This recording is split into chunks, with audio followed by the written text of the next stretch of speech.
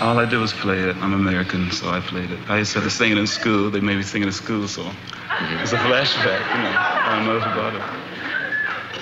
This man was in the 101st Airborne, so when you write your nasty letters in. Back to that.